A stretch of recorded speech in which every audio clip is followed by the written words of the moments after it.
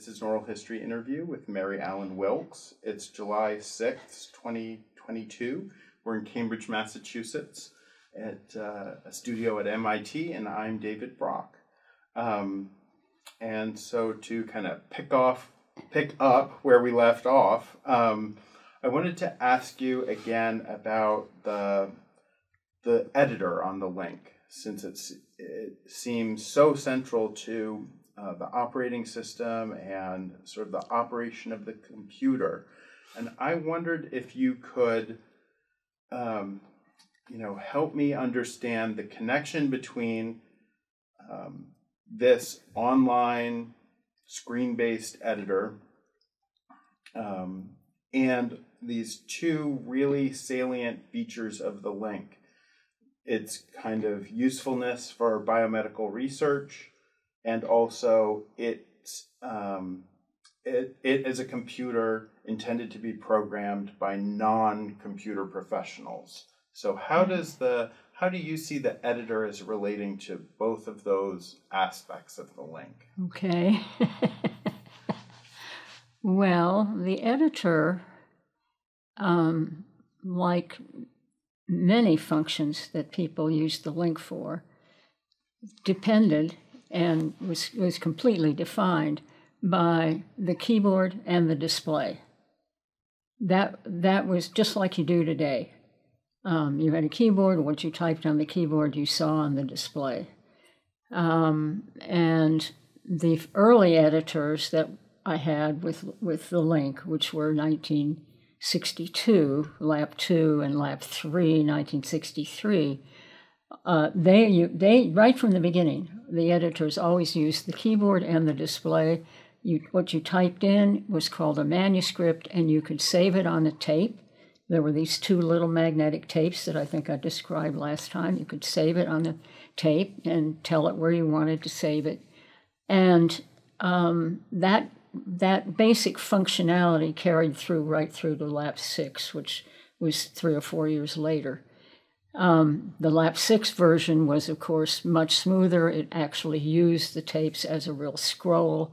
We didn't have to use deferred editing techniques and so forth, uh, which people found cumbersome. They were cumbersome. That um, the memory that we had had before I was able to do lap six was only a thousand 12-bit words of memory, and that what we were able to do before 1965 was very, very limited because then they doubled the memory.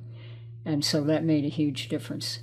So that's the, that's the basic thing. It was designed to be used online, interactively, highly interactive, uh, not only for editing, but for every kind of application in the biomedical laboratory. I mean, every kind for which the LINC was suited. And so the, the researchers in the field um, learned very quickly how to use. First, they had they learned how to use the operating system because that's what enabled them to write programs. They wrote their own applications. We taught them how to program. Sometimes they would have a, gra- a graduate student working with them. I mean, the principal research researcher wouldn't necessarily do the programming himself. They were all men, him, but um, and sometimes he did. But any event, there would be someone in the lab who would who would sometimes do the programming. Um, and with the operating system, again, right from the very beginning, you could convert the manuscript to a binary program. You could run it on the LINC, and then there were lots of features right on the console that helped you debug your program. Um, you could step through a program instruction by instruction with some switches on the key, on the console there was a, a, console. A console, I guess, now is, has morphed into sort of a dashboard for people. Um, but our console had lights that flashed wonderfully whenever things were running, and switch, sets of switches which were for different corresponded to different elements of the machine functions. And so all the all the uh, researchers learned, you know, how to use all that stuff. And yes, I say you could step through your programs instruction by instruction if you were debugging it till you came to the one that was misbehaving. Um, you could halt the machine anywhere your program was running. You could so you could see whether it ran up to a certain position, certain point.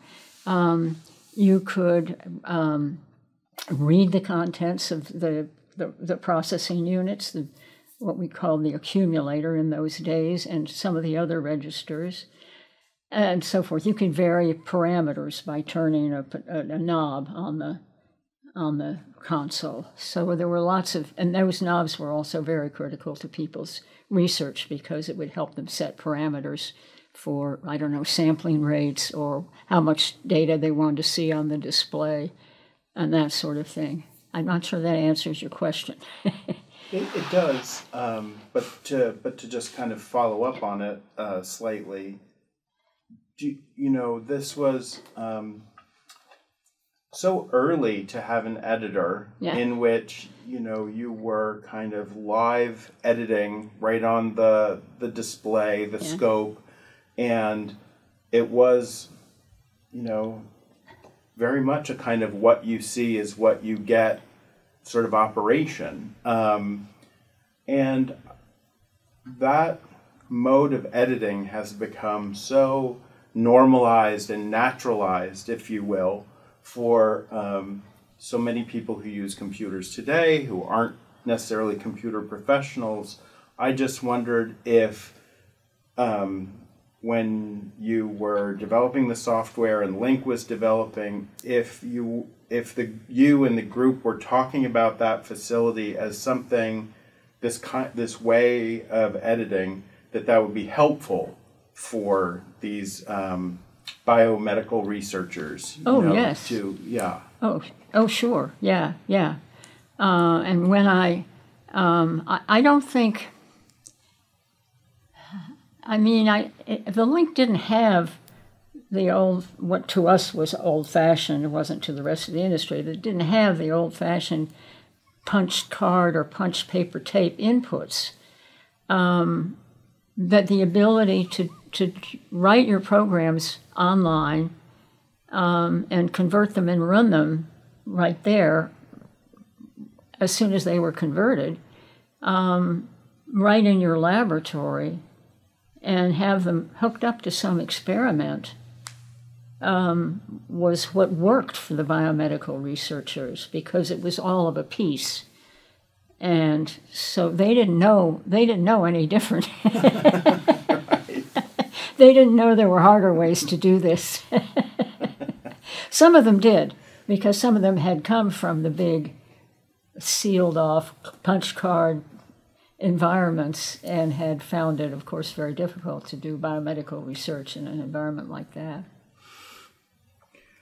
Well, I wanted to um, I wanted to ask a little bit m- uh, more about the, the kind of the mode of operation of the computer, or or the when you were using, let's say, LAP six, and um, would it uh, the way in which you could switch between kind of editing a manuscript and also um, giving these kind of uh, meta commands, I think you called yeah. them, to do things like uh, work with the file system or yeah. or uh, operations of that sort. Yeah. Um, could you could you just describe a little bit how you moved from kind of operating yeah, as I said, between like working on a manuscript or or entering these uh, meta commands. Yeah, yeah, yeah. Lap six normal uh, mode when you when you mounted a tape and pushed start um, was the manuscript editing mode. So if there was a manuscript on which you've been working recently, that when you turned on the machine or when you when you push start after you mount if you put the tape on um, what you would see was what we called the current manuscript, be the last one that you would have worked on. Um, and while you were looking at that, you would see a certain number of lines. This is all with reference to lap six now. You, you could, well, a lot of it is applied to the earlier ones, but I'll just talk about lap six. Um, you would see, a, you know, a certain number. Uh, you can you can see up to, I don't know, ten or twelve lines without flicker or you know this isn't real basic hardware. Um, but in any event, you could see sufficient piece of your manuscript, your what we I call manuscript, your document, um, so that you could tell where you were. And while you were looking at that, you just there was one key that was assigned to, and it, it was uh, in the lower right corner, and it said meta on it. And you hit the meta key, and it gave you a little arrow at the bottom of the display. You were still looking at your manuscript. It gave you a little arrow at the bottom of the display, um, and then you typed the first two letters of your command. Uh, Lap 6 had, I think, 16 or 17 commands. Um, they would be save manuscript or add another manuscript to this working area or save part of a manuscript as a new manuscript. You could do that. You could break up manuscripts that way. Um, you could add one manuscript in the middle of another uh, if for some reason you wanted to do that. You could copy manuscripts. We had two tape units. You could copy manuscripts or binary programs from one tape to another. These are all meta commands CP for copy, CV for convert. Um, there was um, Lap 6 had it made, created an index. The first time you saved a manuscript on any tape, any LINC tape, it created an index for that tape. And it would, it, it would figure out what blocks were free in which to save the manuscript or the binary. Uh, so you didn't have to keep track. With laps two and three, you had to keep track of where all your documents were on the tape. So God forbid you should lose that little piece of paper. But with lap six, we had an index, so that was very sophisticated. Anyway, you could display the index. If you wanted to delete um, um, documents or binary programs from your tape, you just you just hit the delete. You just selected one of just like you might do today. You just selected one of those entries in the in the index and hit delete. Gone. Um, there were commands for.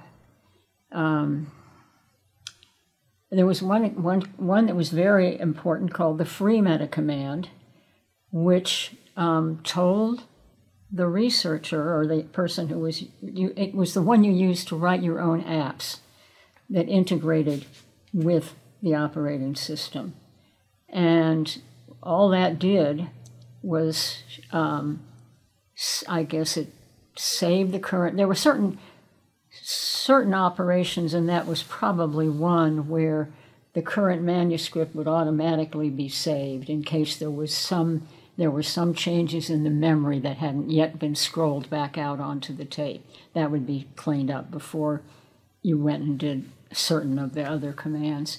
Um, that was probably true with the free meta command. But the free meta command, from my standpoint, I mean, right, the operating system was very simple. I just told, just in the programming manual, it said where in the in the Lap Six handbook, it just said what you had to do to get back into lap. It said where if you if you do just type the little arrow F and hit the end the end of line key, which is like um, a, a, return, a carriage, like a carriage. We used to call it a carriage return. Right. Remember carriages? I no, do. you may not. anyway, the return key. Now it's called the return key. Anyway, it's much too long-winded, but that all that did was just um, jump to a certain one of the lower numbered registers in the memory, and you were told in the in the handbook what register that was. And so you and, and and what you did was then put in that in those registers whatever you wanted. Read the tape, read from the, maybe the other unit, or you know read a program from wherever you had stored it. Um, and so tra- it just basically transferred control. It's just a jump instruction.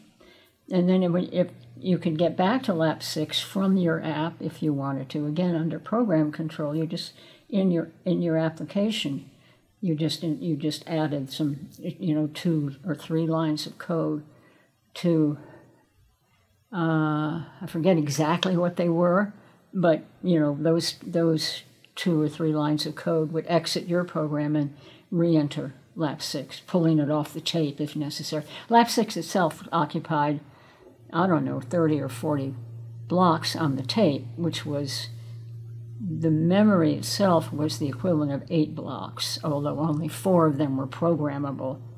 So the there was uh, Lap Six was constantly pulling different pieces of itself on and uh, off the tape. Right. Um, it, it just wrote over itself, literally just wrote right over itself in uh, lots of instances. Interesting. So um, it was the tape was very you know was critical to the whole was really critical for everybody. Well, thank you. Um, and I wanted to ask a, a little bit um, of a follow up from from our last interview, which was we had talked about how uh, you rarely uh, used a printer with Lap 6, or you rarely, you know, printed things out to, to paper in whatever fashion. Um, but I just want to ask a little bit more about what facility the the operate lap six or the um, and the LINC had for paper output, if you will. Yeah. Um, and it seemed like there was there were there were two two two modes of paper output. One was print manuscript, and the other one was list. Yeah. And it seemed like print manuscript was one that produced like left justified text and um, maybe put in line breaks, you know, so as not to break in the middle of a word. And list was more like for listing the um, instructions of a program. Yeah. Um, is that does that get? That's at it? correct. Yes, there were there were in fact I think three print instructions. Um, I never I never used a printer. I, I I was perfectly happy just you know you're you don't have a printer necessarily attached to your laptop or even your desktop. You can do an awful lot of work, and then oh I need to print something. All right, then you got to find a printer. You know, of course I have a printer at home now. I do print things. But I, I know the whole year in, when I was in Baltimore writing Lap Six, I did not have a printer, and I didn't send labs. I didn't send my manuscript tapes somewhere to be printed. Um, I, I used the display. I mean, I could easily see my my my mnemonic code on the on the screen, and it was easy enough to correct that. Of course, I had I had handwritten stuff out um, for changing things and correcting things and you know writing out programs, but I never actually printed anything that I recall. But uh, but there were people. Some of the, some of the research in the field, they had teletypes and they wanted to be able to print, print some sometimes data, sometimes manuscripts of their program manuscripts. Um, yes, there was a print man. You you've. you know more about this than I do because I'm sure I don't. I have not reviewed the, that recently, but the, there was a print manuscript command that worked for Lap 6 that worked with the teletype. Maybe they all, all three did, I don't know. There was a print binary, which I guess hmm. just printed binary code, so which was maybe helpful for debugging in some cases, although I usually just stepped through it with the lights and the switches. Um, and there was uh, this list, which I think, as you say, well, you said it, just it listed. Well, how would that have been? It might have been. It just listed maybe the code. I don't. I don't how. Would, I don't remember how that was different from a print binary. yeah, I'm not sure. I'm not sure. Neither of us have read the manual Yeah. Um, I wondered, at, well, as a kind of a follow-on to that question, I wondered if were you were you developing like the documentation for um, for the operating system? Were you were you using the LINC editor to write the documentation, like the the handbook, or No, Okay. No, no, no. We we we had you know, old-fashioned handwritten documents and secretaries who typed Okay. on old-fashioned typewriters. We, didn't- I don't think we even had electric typewriters then. Okay. Um, no, no, that was all longhand. Theoretically, with lap six, you could use lap six to write anything. The display held at most 256 characters, but if you put anything close to 200, remember that word flicker? Mm-hmm. you couldn't, you, you, you wouldn't be able to read it because it was this, the computer and the display at that stage were, were not sophisticated enough or fast enough right. to display a lot of text. right. Uh, people did use it for short text things, but no, all the documentation I did, and it was considerable, uh, was done longhand. Okay, thank you.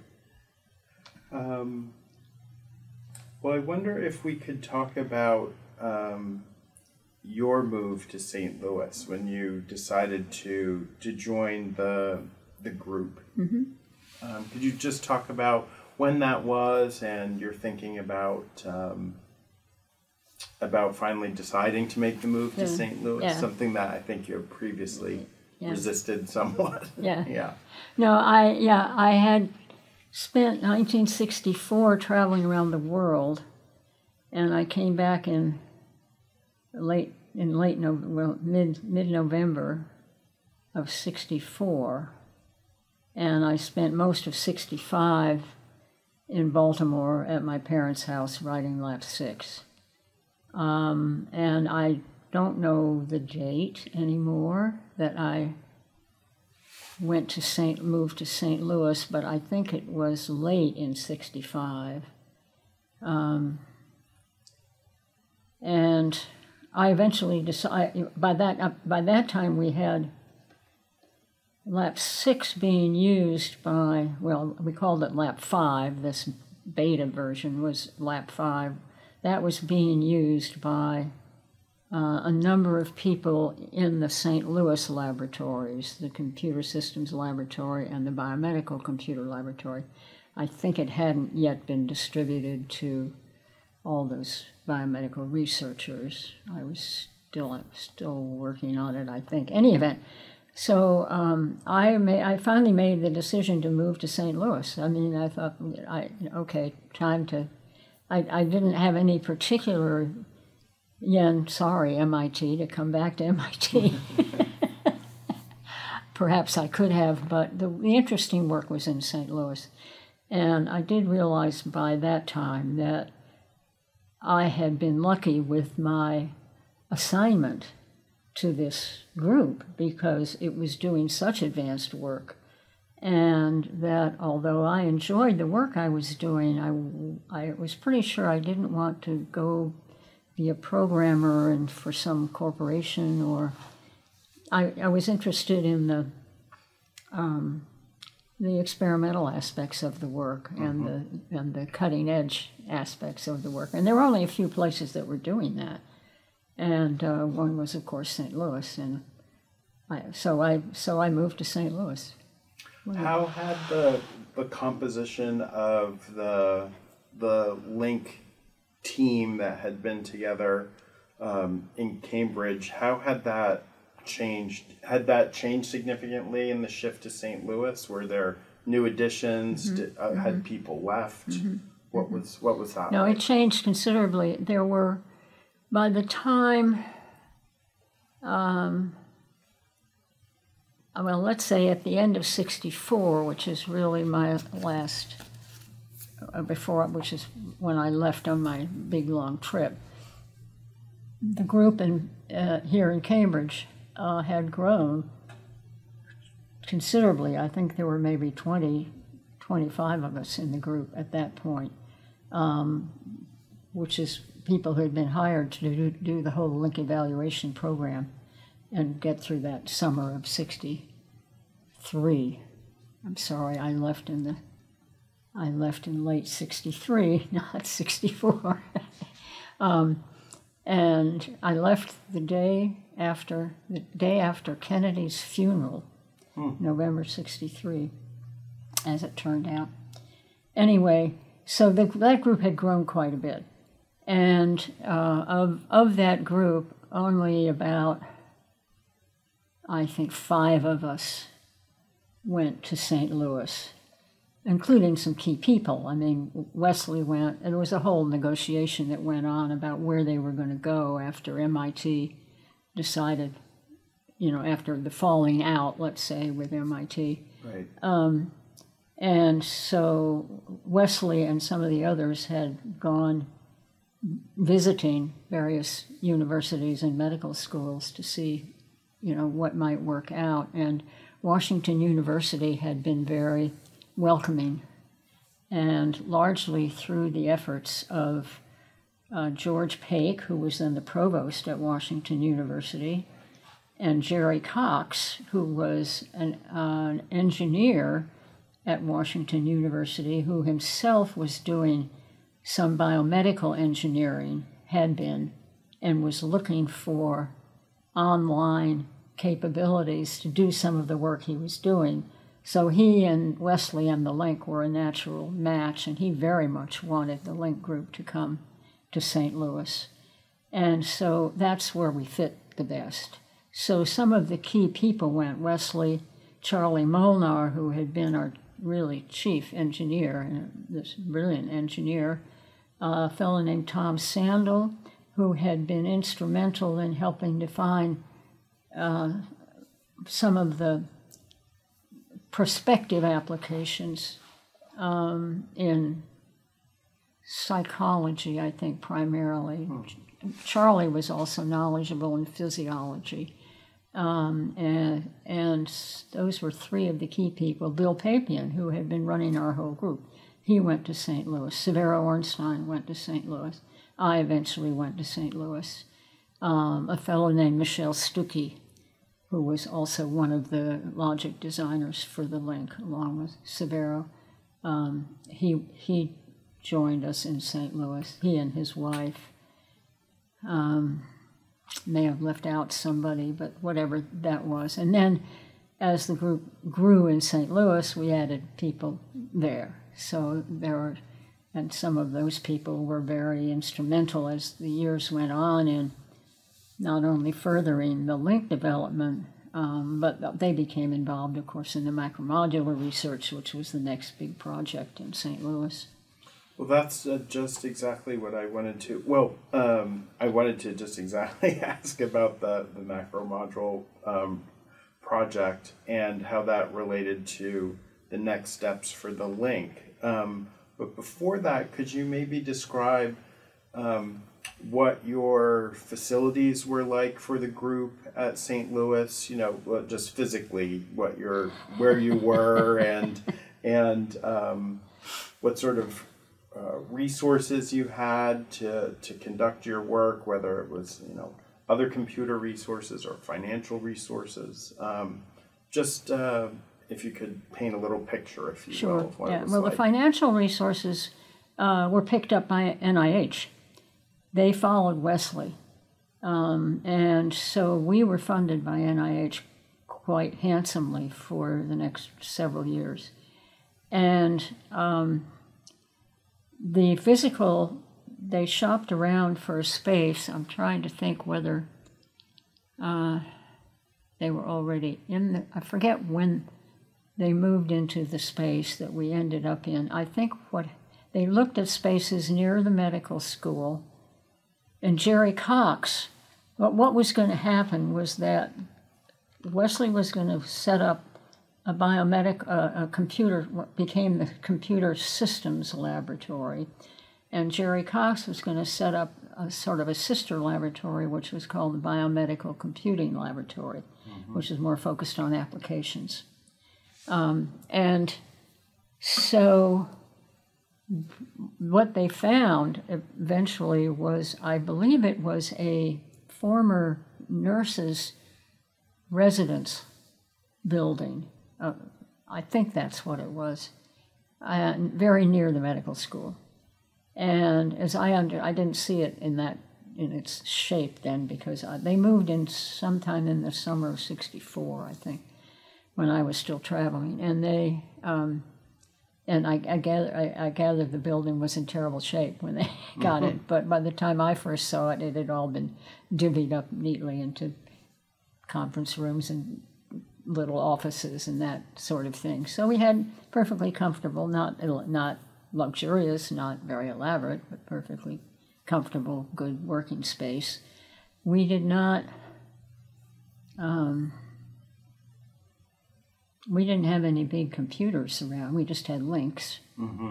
And Jerry was using LINCs in his lab, and he had he Jerry did. Jerry's just about to publish a quite wonderful book, Oh. his memoir, um, which I have been fortunate enough to have read an advance copy of, and uh, he did an, an enormous amount of uh, of mentoring of graduate students, doing all kinds of different biomedical applications um, with the LINC. He was quite instrumental in advancing biomedical computing research just by himself. I mean, just right there at Washington University.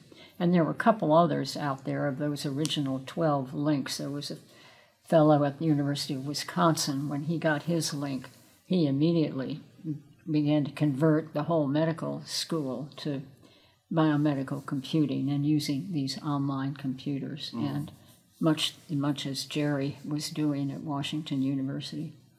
It was it was a fun time because it was fascinating to just watch it take off like that. And for you personally, you became a, a, a member of the the staff of was it the university or the medical school? Where where did you sit? I don't remember. I do remember. I don't know if we went into this last time at MIT. I had I had originally been a technician. Did we go in? Did we cover that? Okay. Um, as a as a woman, as a woman, I was a pro, I was a programmer. That was you know I was not a logic designer. Uh, the men did the logic design and the women did the programming, and all the programmers I knew at Lincoln Laboratory were women. Uh, the men, however, all had slots on the general research staff here at MIT. And there was a limited number of general research staff slots. Uh, so the men had general research staff slots. I was categorized as a technician, uh, which meant uh, lower pay and fewer benefits and, and so forth. That all, and it meant pretty much that you went and worked where you were assigned. I mean, you could, there was some negotiating, of course, but you pretty much, you know, and that's how I ended up in Wesley's group because I was sent there. Right. You know, I didn't know to apply for it. Uh, but in any event, and it- as it turned out, the group was very hard to get into if you were a guy. Severo took Severo Ornstein a long time to get in. I said, "What's your problem? They just sent me here. I'm here." Anyway, it was an interesting dichotomy, but it was totally typical of the times. But uh, uh, as far as the MIT situation was concerned, Wesley and Bill Papian had gone to bat for me and gotten me a slot here on the general research staff. So before I left MIT, I had my general research staff slot. So I was on a par with the guys, uh, which was, of course, as it should be. Yeah. Um, and I don't, to come back to what happened at Washington University, I don't remember what happened to those of us who were on the staff, but I think we were all on the same, in the same category, whatever it was. Um, the principals, Wesley and Tom Sandel Bill, they all, they had professorships. I think Wesley had a couple of them. Um, and that, but it, anyway. Okay. Um, well, when you uh, when you got to um, when you got to St. Louis and, and settled into the group, what was what was the direction that the group was taking um, specifically with respect to the LINCs? What was the next chapter for LINC? The next chapter for the LINC was, as I recall, was pretty much the applications work that was going on out in the field and Um, I had, let me see, I moved there the, toward the end of 65. I still had, I was the one who had the follow up work at that point with the LINC.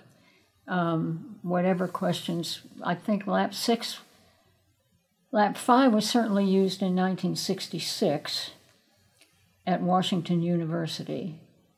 Um, that was the, the prototype, the beta. And then it was finally released.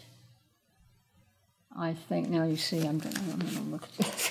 if you don't do. mind, I don't want to get do. these dates wrong again.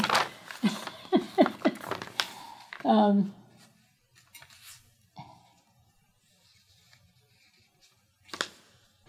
all right, I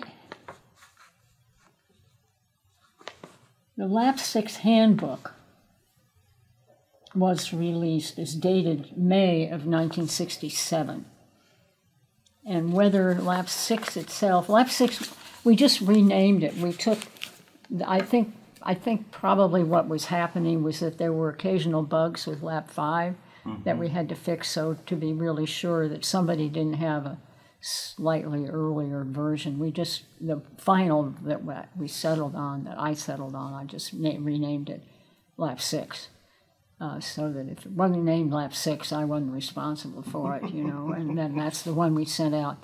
Uh, so I don't remember, I, I don't think I would have sent that out before I had a handbook because I don't know what you would have done with it. Right. But whether there were draft handbooks, I might have sent draft handbooks to people who, but anyway, regardless, it was sometime around in there. And so I was doing that. I was also writing the second, the first edition of Programming the LINC, the programming manual, what had what was you know, that had come out in 1962, and that was before we even had a final order code, or even the key codes on the on the keyboard changed after after that one. So we badly needed a new edition of Programming the LINC, and that came out in 60.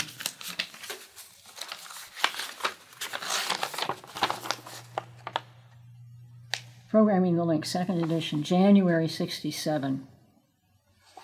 Uh, and then I wrote a couple of journal articles about all of, you know, all of this work. Right.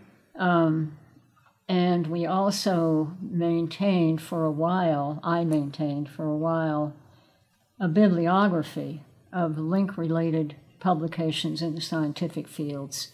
We just asked all these researchers if they published, if they were publishing research articles in, in, which, in which the research had involved using a LINC to do some of the research, if they would let us, you know, have citations to the research.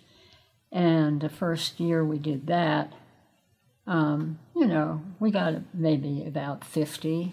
And then it started just doubling and quadrupling. And uh, I finally, and, and I, I, I just thought it was kind of a good thing to do.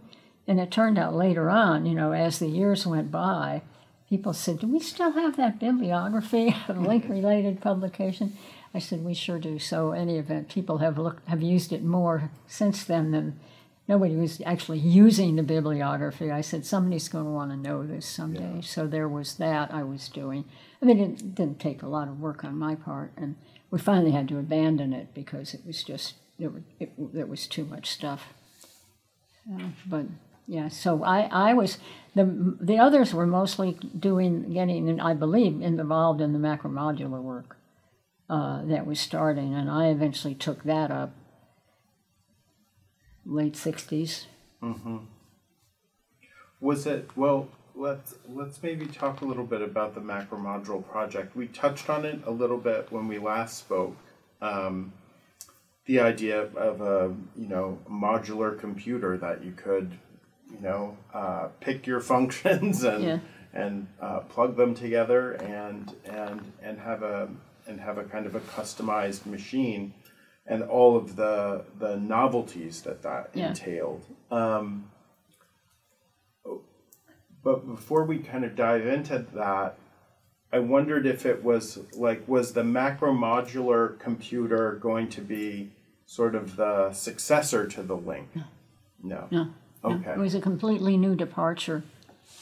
I mean, it was the successor in the in philosophy, if you will, in a way, because this was also a hands-on way of using computational tools, uh, being able to take building blocks, and if you needed three add components, for example, for some thing, you could have three add components, bo- you know, boxes. I mean, these were little, literally physical boxes, um, and combine them as you saw fit for your own applications.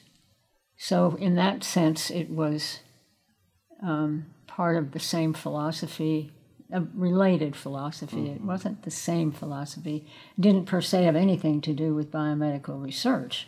Although Charlie Molnar, who who um, inherited the project and the and the leadership of the laboratory after we moved back to Cambridge, but I'm getting ahead of myself. But um, Charlie did did do a, he and his graduate students did a lot of macromodular projects, uh, and I can't really tell you exactly what they were, but they did use they built macromodules and they used the macromodules. And it was never a commercial success, um, but it did advance a lot. There was a lot of new technology that went into them that was applicable in the work that other people came along and did afterwards. One of the unique things about the macromodules that m- made I, I eventually ended up designing the multiply macromodule.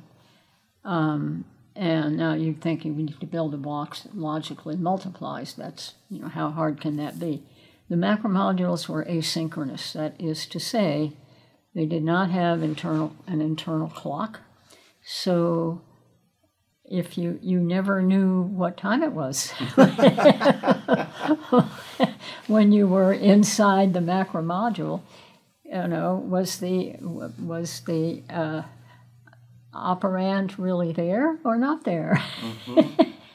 There's no clock to look at to tell you it's not it's three o'clock. The operand must be here.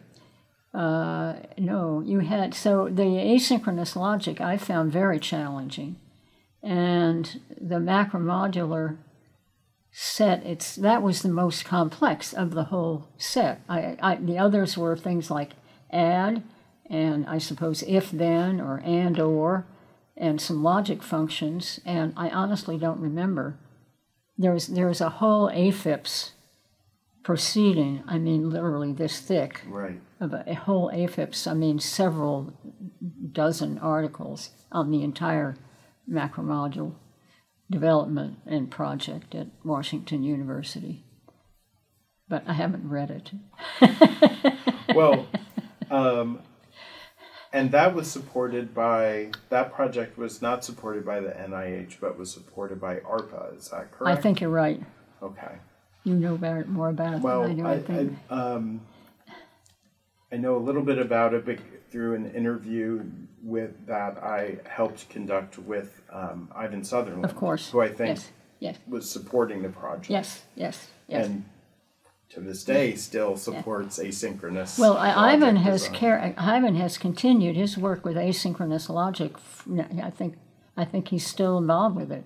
absolutely. Yeah, yeah. So, you know, he Wesley was a big influence on Ivan.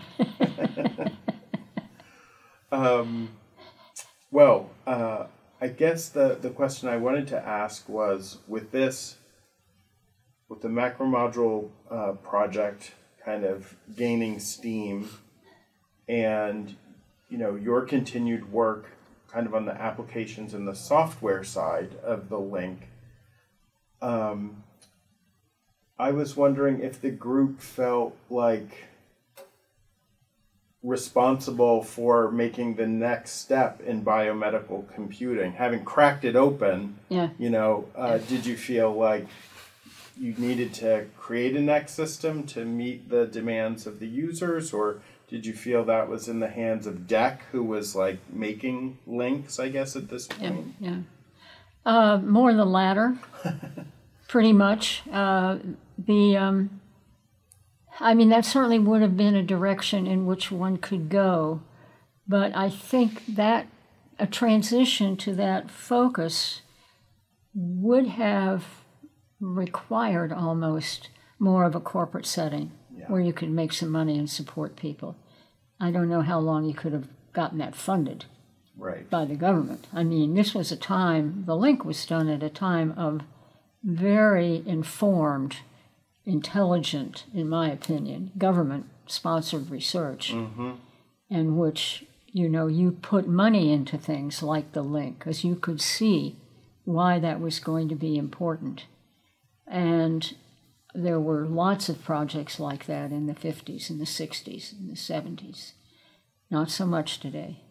Uh, and so it would have been, but DEC was DEC was already making the LINCs, and it um, the it in fact the LINC tapes became DECtapes, and the DECtapes were used on a lot of their machines for several years, many years, and some of the other some of the other DEC machines were basically LINCs in disguise. I mean, they were they morphed into other DEC machines, so DEC was already there doing that, and uh, yeah, it wasn't wasn't something I it wouldn't have.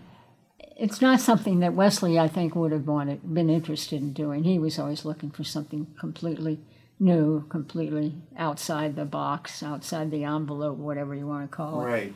You know? Right. Pushing forward, yeah, yeah, expanding what a computer could be Yeah, in a way. yeah. Yeah. Okay. That makes sense to me. It would be. It would not have been a university research project to No. necessarily to Yeah. do that next system. I see. Um, well, let's see. Um, so could you could you talk a little bit about how you you know transitioned into working on that multiply module for the macro module project and you know how did you how did you learn about asynchronous logic and and how you would design something for that i mean there weren't uh, were there other groups working on it not that I was aware of. right No, no. I was like, how did you learn about it? How, I think you asked me before, how did I learn to do whatever it was? Yeah. you, you just did it. yeah Well, Ivan has a wonderful line. No, when I asked, I asked him that question once about Sketchpad. You know, how how did you? He said nobody told me it was hard. Great line. Well, that's how I felt about. And later afterward, and you know, nobody told me it was hard. You just did what you had to do. No, the I found the asynchronous logic, as I said, very challenging, and there wasn't, to my knowledge anyway, to study it um, the guys in the lab, like Severo and Charlie and so forth, who had been who had been designing the other macro module uh, macro modules. Um, I don't think they had as much trouble with it, but I don't think it was as hard as the multiplier. And so there's that. And I, I once had, in fact, a funny conversation about it with Ivan many years later. And I said, You know, I found that very hard. He said, Well, what was the big deal? I said, Ivan, I'm sure for you it wouldn't have been any kind of a deal. kind of an unfair metric So yeah. it was asynchronous. So what? anyway, I finally got it done and it worked perfectly, but uh, it took a while. How did I get onto that? Um, I had observed right from the beginning at, at MIT, at, here at MIT, at Lincoln, um, that although I was doing the programming and the guys were doing the logic design, that in fact, what, what I was it, what each of us was doing required the same set of mental aptitudes or whatever, what have you. And I said, I could do that. They could do this, and they could, and they did if they had to. They programmed, but they didn't. wasn't their careers the way it was mine. They could do programming. Um, so I had said to Wesley I think, fairly early on that at some point I would like to try my hand at doing some of the logic design, just for a change. Um, and of course, it, it, that really wasn't possible during the LINC development because A, I was the programmer. we needed a programmer. Right. so I didn't really have any time to take that on. Uh, but with the macro module, when, so I brought it up again when I got to St. Louis and said, I, I would I'd like to get involved in this macro module. He said, fine, do the multiplier. So I said, sure, boss. I I have in my notes that um, that uh, the the macro module project may have related to um, some concepts from Gertrude Estrin. Have you heard about that? that does not ring a bell yeah. with me. Okay. She, I guess she was at would have been at UCLA at this time or something. I'll have to ferret that out. There, there are others who would, might know, but not, Okay. I'm not one of them. Um, and let's see. And um, I know one thing that uh, there's this issue in, I think there's this issue in asynchronous, or maybe it's in digital logic, the stability glitch. Was that uh, something that was addressed in asynchronous logic? Something that asynchronous logic avoided? Um, or maybe a flip flop got stuck in an unstable state? That oh, the glitch phenomenon. Yeah, this- yeah, the glitch phenomenon. No, I think the glitch phenomenon was first observed in um, with the LINCs, Oh, as I recall. Okay. Oh boy. Um, now I don't think I should go any further. than that. but but just the the the notion of this glitch was that it was a condition that could sometimes arise in digital logic. and it still can, as I understand it. But I'm the wrong person to ask about Okay. that. Okay, fair enough. Um, was it now? Um, you had, of course, known Ivan Sutherland um, previously as a fellow TX2 user. Um, oh, I, Ivan, are you saying? Ivan Sutherland, Ivan, yes. yeah. If I'm sorry if I said the wrong thing. No, I Um, just can't. Oh, yeah, wasn't I was mumbling. Um, you had known Ivan Sutherland earlier as a TX2 fellow TX2 user when he was supporting the macro module project in St. Louis. Did you um, would he visit the group and uh, and um, kind of check on how things were developing, or was he was he at all a, a presence there? Yes, but I can't give you any specific times. Okay. Yeah. Well, one thing that I know that uh, many people who um, in this era who had projects supported by ARPA talk about, you know, this ARPA community and you know all the people who had ARPA contracts Right. kind of interacting and getting together. Right. Would, was that um, was that part of your experience or part of the group's experience? Um, I know we were always in close contact with the ARPA people, before it was Larry Roberts for a while, and it was Ivan, uh, and who else was it ARPA? Maybe Bob Taylor. Oh, Bob Taylor, yes, of course. Um, Bob was very active. I don't. I, when you say did we get together, we didn't get together like for reunions with ARPA people that I remember, which we did with LINC with LINC people. Um, but but we were certainly in frequent contact with them. I knew all those people pretty well. I mean, Okay. There were the I think these contractors meetings uh, that maybe were annual. Yeah, I wouldn't have probably been involved in a meeting of, I mean, the, that would have been like one person from our group might go Maybe, to something like yeah. that. That's true. Um, let's see. Um, I this may be this may be jumping ahead too far, so tell me if I'm leapfrogging something. Right, I have on my sheet. Oh. Right. we can we can get the our cheat Get the right dates. Um, well, I, I did see something that was fascinating to me. It was that um, in 1968, software became patentable. And there was a movement to extend copyright protection to software as well. Um, and in, I think it was in 1970, the now former Supreme Court Justice Stephen Breyer wrote an article, The Uneasy Case for Copyright in Books, Photocopies, and Computer Programs, in the Harvard Law Review.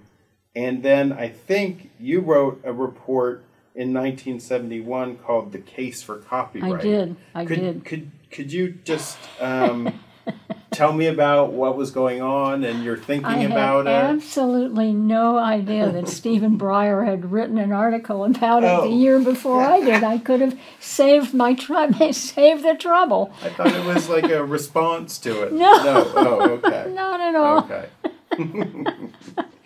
Oh, that's wonderful. That's wonderful. I will have to go read that article. No, I wrote an internal memo at Washington University called The Case for Copyright because um, 71, you say? 71, I Okay. think. I think so. That sounds about right. Um, because uh, by that time, Lap 6 had been out for a while, and people were making changes to it. And I would get the calls because then it wouldn't work. I said, you know, there's got to be a better way to protect. You put years of work into something like Lap 6 Mm. and you work very hard to get the bugs out of it. And you send it out to people and you describe it, and it's supposed to do exactly, perform exactly as you describe it, and then all of a sudden it doesn't. And it's because somebody has changed the program.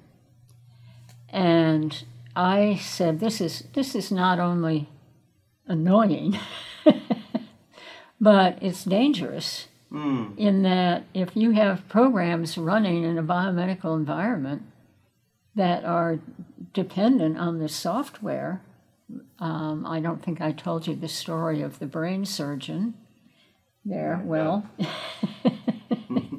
um, if you have programs and then they don't work, uh, you you're possibly you know I mean any event. I was very concerned about it.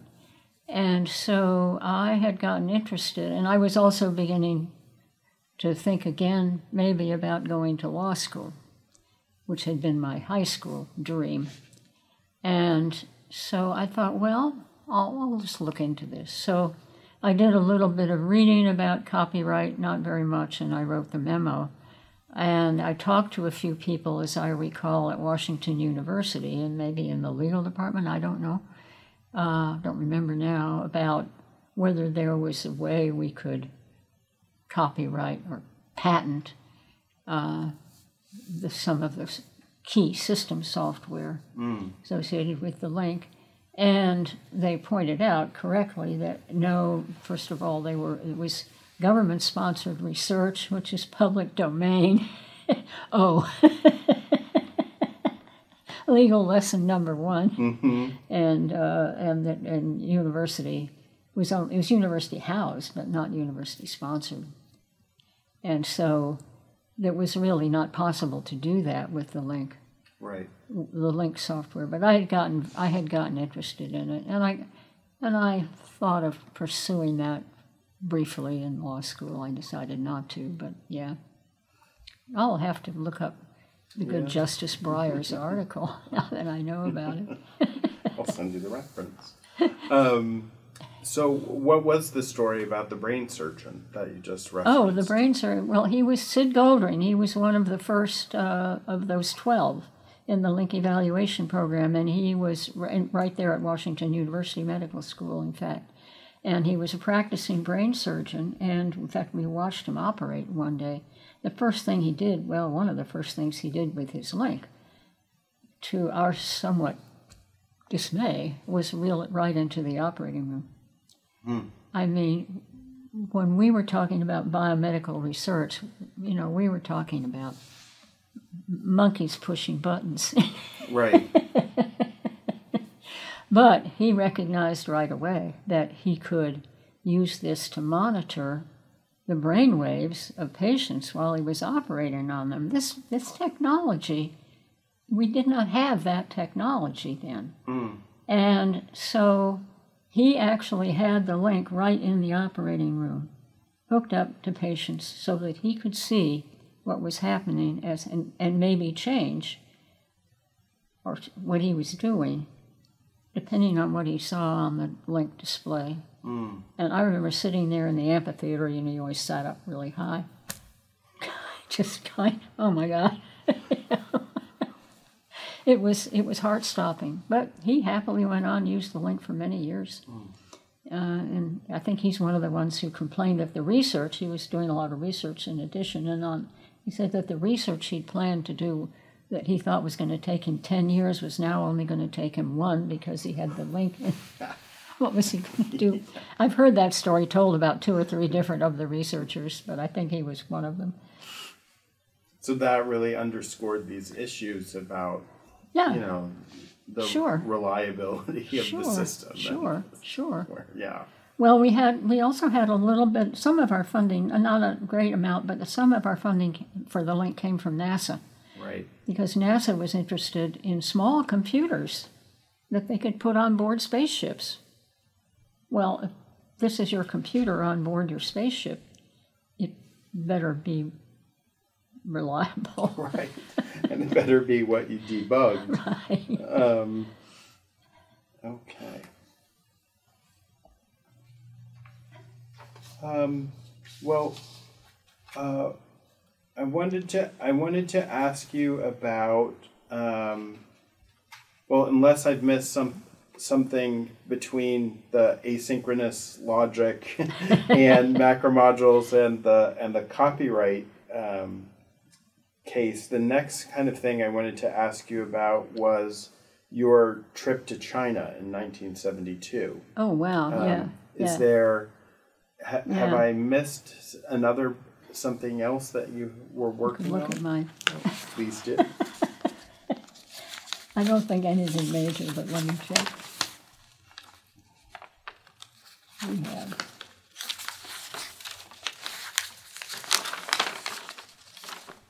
All right.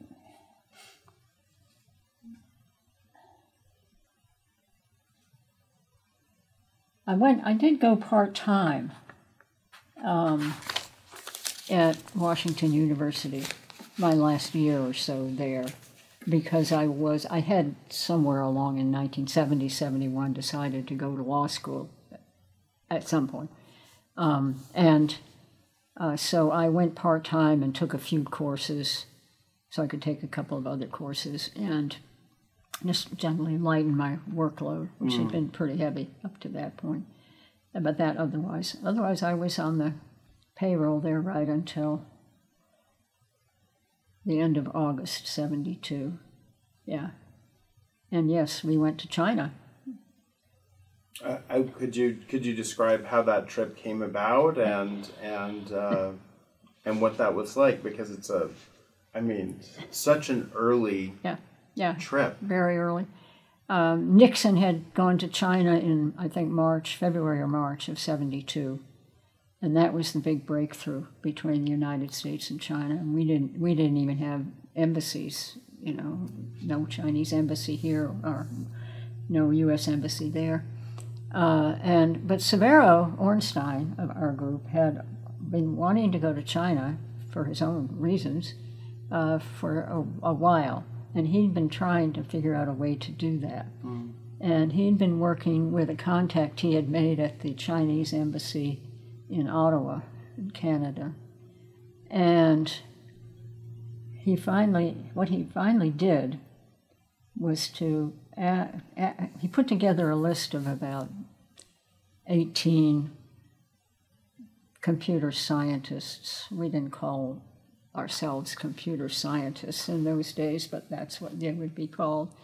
Now, and he put together a list of about 18 and um, started calling around to see who might be interested in going to China. And his way of getting people to sign on was um, he would say to the first one, you know, you you know, do you want to go to, tell him his plan was, to want to go to China? And they would invariably say, well, who else is going? So he would just name somebody else on the list. and would say, oh, okay, well, sign me up. he tell, he's told me many, that's what he says he did all the way through the list. So he got this big list. And through his contact in Ottawa, he finally got invited in sometime earlier in we went in July. He got invited in early, I don't know, not too much not too much longer before we went, maybe three or four months. Mm. Got invited to bring six computer scientists. And so then he put it to the group, all these people who had accepted. I mean, they knew it wasn't a sure thing. He didn't, he didn't mislead them that right. way, that badly. But anyway, so they voted on, on who to send. I was not on that list. I, by that time, I was married to Wesley Clark, and Wesley, of course, was on the list. So the group um, uh, voted, and Severo said, I'm definitely going, so you have to vote on the other five. And so they ranked each other, uh, and Wesley was one of the other five. And at the very last, and they, they were the group was all men. I mean, at that point, as that was how it was in those days. So, uh, but at the very last minute, in like we left, I think the day after the 4th of July or something like that mm. in 72. And I think I didn't hear until maybe the week before um, that the wives were invited. And so um, we, we were in the process of moving. Oh, by this time, of course, I had applied to all these law schools and I was going to start law school on September 1, 72. Oh so gosh. we were moving from St. Louis back to Cambridge. And Wesley was going to go to China, and I was going to stay in St. Louis with the happy job of packing and getting us moved to Cambridge while he was off having this wonderful trip anyway, so there we were, and we had no, we weren't ready to move to Cambridge by a long shot. And so the week before, we get the word wives are invited. Well, I had to get a I had to get a visa. I had to get we had it was a scramble, but I went. Wow. Uh, and so did Severo at that point was divorced, so he was not accompanied by a wife, but the but all five of the others did bring their wives. So we were a group of 11, and poor Charlie Molnar was left with the job of packing up our apartment in St. Louis and getting it. I think he put it in storage until we until we came back. I had to I had to go through Senator Danforth, I think, to get the visa or whatever. I don't, or maybe it, it all also involved the embassy in to in sure. wherever it was, Toronto or Ottawa right. or something any event, we got there.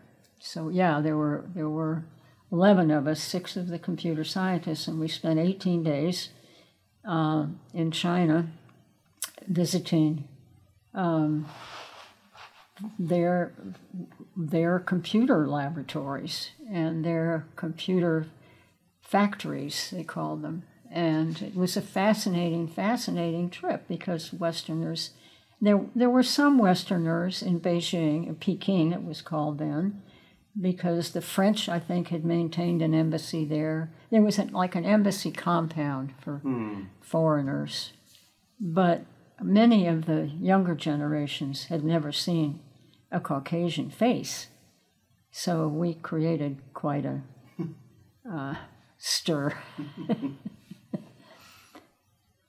And um, I was reading the the article that you kindly sent me, the copy of the oh, article yeah. that you uh, wrote um, based off the diary, your travel diary right. that you were keeping. Right. And um, uh, it it really seems like uh, that the group was impressed um, by the the advances that the Chinese um, had been able to take in in such a short amount of time. Yes. And Yeah. essentially, you know, doing each element relatively autonomously from Yeah. components to Yeah. software. Yeah. Um, so was that was that They the general were, it, impression? it was it was astonishing. The Chinese had become masters at reverse engineering.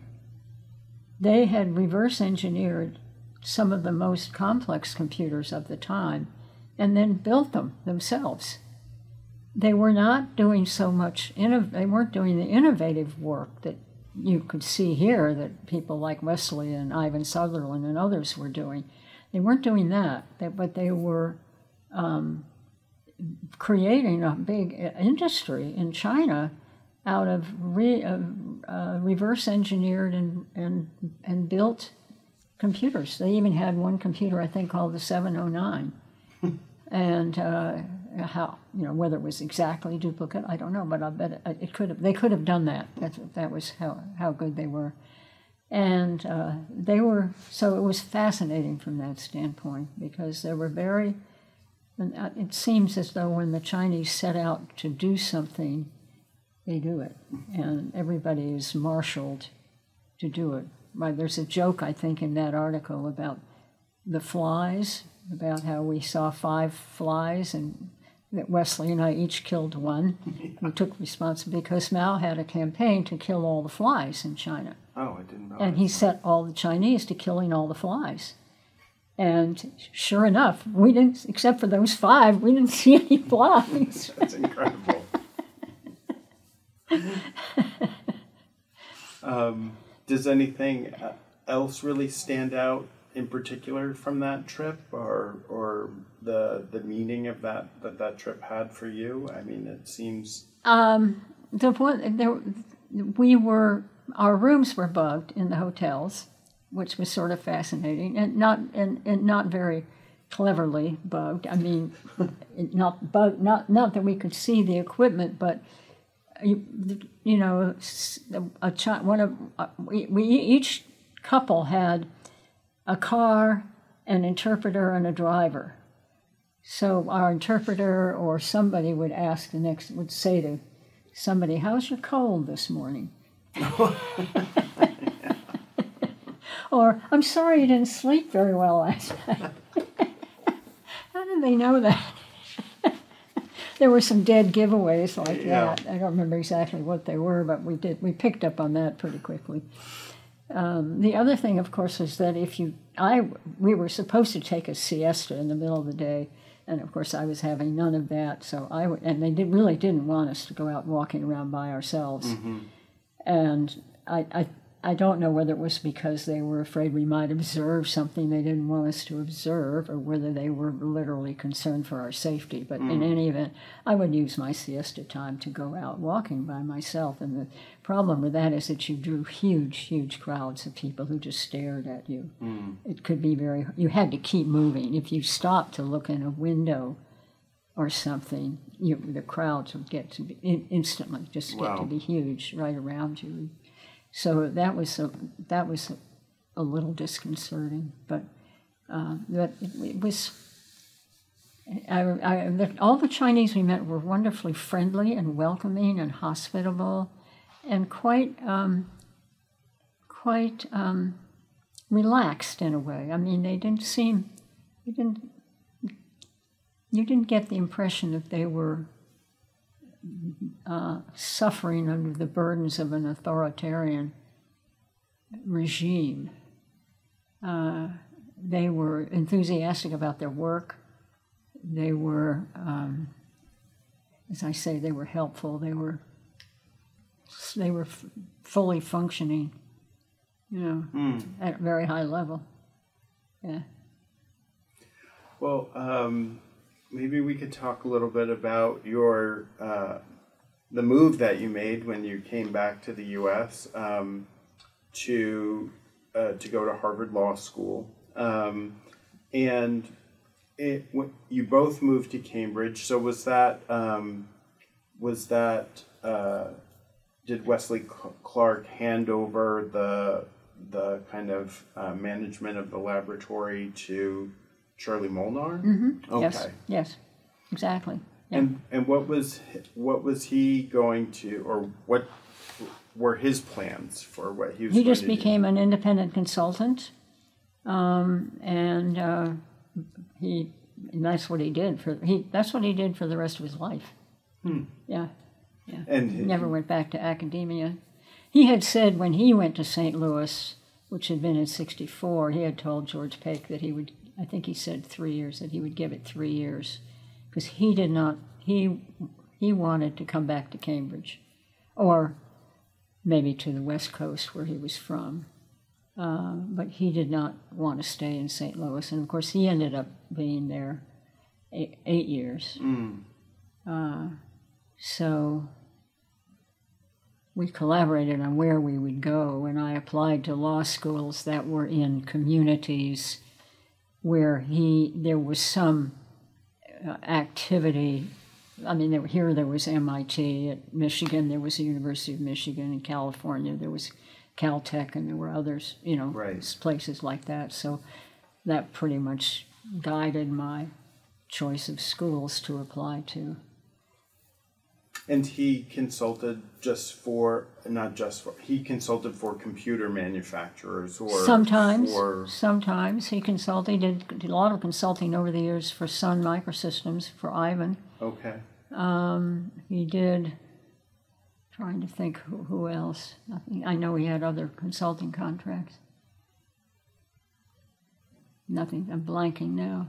okay um, well let's see um, well could you tell me a little bit about um, what your experience was like at Harvard Law School and um, and I guess it must have occurred then sort of a gravitation toward trial law No, that had started in law- in in high school.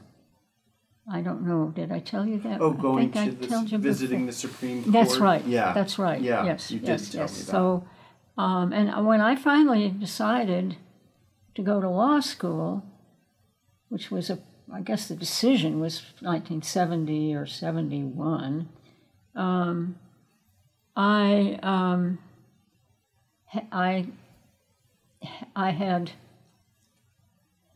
lost my train of thought. Anyway, I I still wanted to be a trial lawyer. I wanted to be a courtroom lawyer. And I had said to myself, I don't care, I'm going to go do it anyway. You know, by this time I'm 12 years older, I'm more mature. if I have to be a pioneer, I'll be a pioneer, you know, but, you know, anyway. So I was going to go be a trial lawyer. But so, yeah, that was my that was my, as I said earlier, I kind of flirted with the idea of maybe doing something with patent law or copyright, but because of that interest uh, from the computer field. But I, that wasn't really where my interest lay. So yeah, I started Harvard Law School in the fall of 1972, uh, and graduated in 75, and worked as a practicing lawyer for the next 35, 40 years. Yeah. Was what when you got to Harvard Law School in those in that period? What was it like in terms of the the gender dynamic? Was it was it a, another almost exclusively male environment, or Yeah, or- it had it had improved somewhat. Um, it was it, I think my class was something like nine or ten percent women. I don't know what it would have been had I gone in at, right straight out of college. Much much lower. right? Much much lower. It was beginning to open up, but we were still a long way. It's now over fifty percent. That's good to hear. But also, Harvard was not the first one to let women to admit women. I think Michigan or one of those places was one of the first. Was much more open-minded than Harvard was. Did that? Um, do you feel that there was any? Um, well, were you uh, battling against um, sexism at all during your your education at the law school? Depended or on who the professor was. case by case. Some of them were some of them made it obvious. some of them were, but didn't make it obvious, and some of them weren't sexist. Right. So it just depended on who, you know. There were beginning to be a few women professors. Again, not many. Now there are a lot, and now they've had at least two deans of the law school who were women. Right. So, you know, a lot has happened in the last 50 years or so.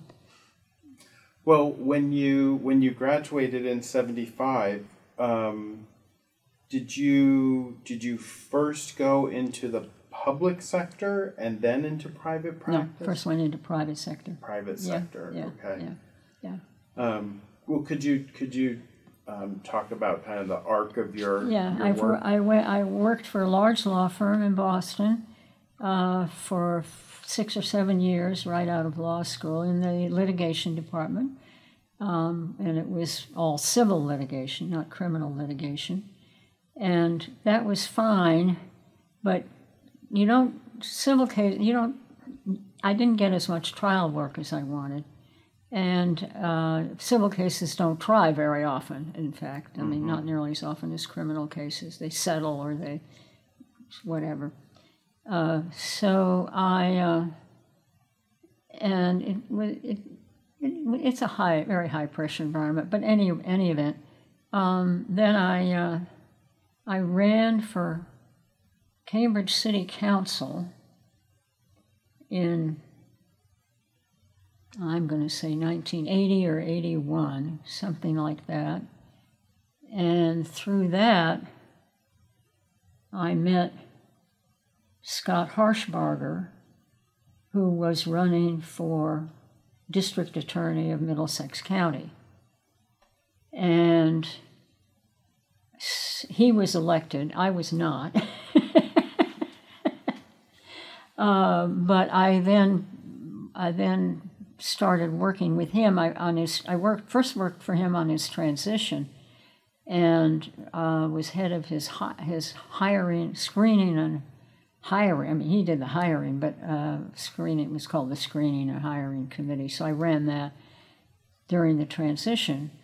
And then I said, I, I, I would like to recommend myself for I've screened myself thoroughly. Yeah. yes, I'm thoroughly vetted.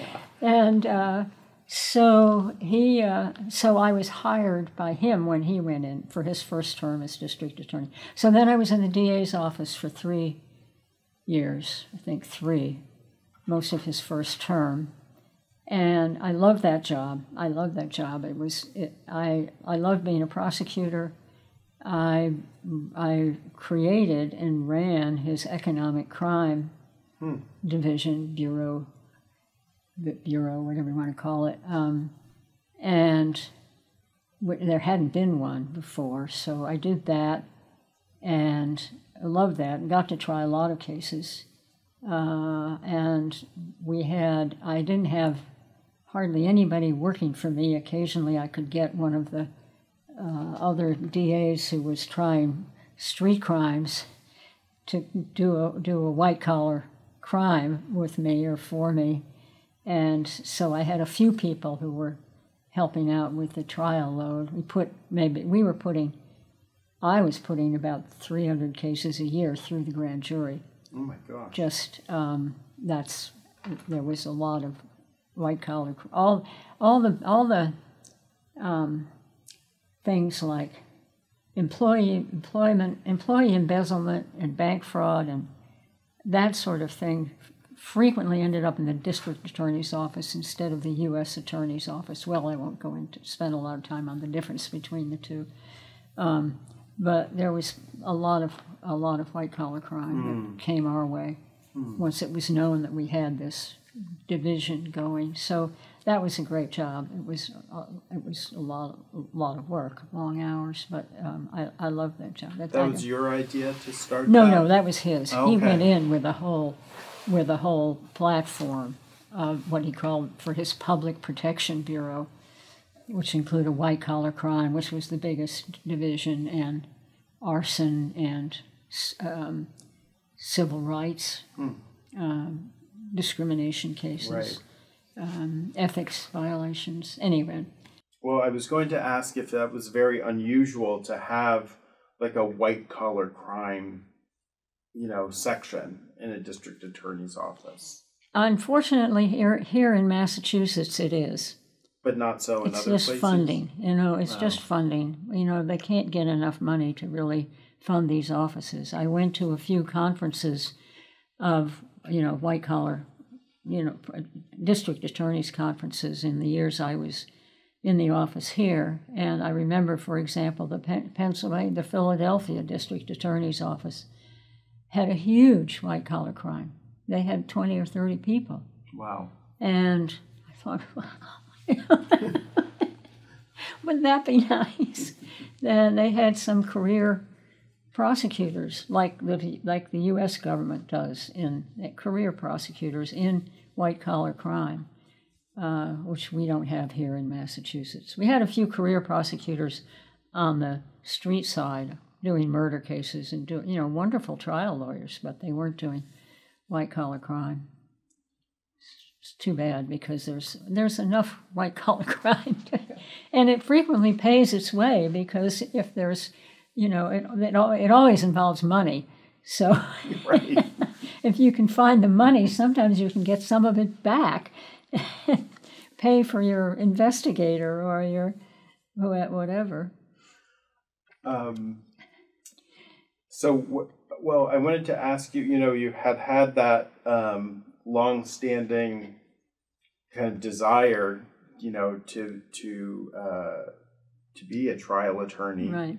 Um, do you remember, you know, what it was like for your first trial, or you know, the first? Oh, sure. What, what was Yeah. that like? Uh, Yeah. Could you tell us a little bit about? Well, I, that? ha- I've I've had been fortunate at Harvard Law School. I I joined the um, Legal Aid Bureau, and I had a good mentor there, who took me through my first, um, you know, going to court, arguing a motion, doing a few things like that. So I'd had a little bit of courtroom experience before I got to my that the private law I, that law firm I was at was Hale and Dorr.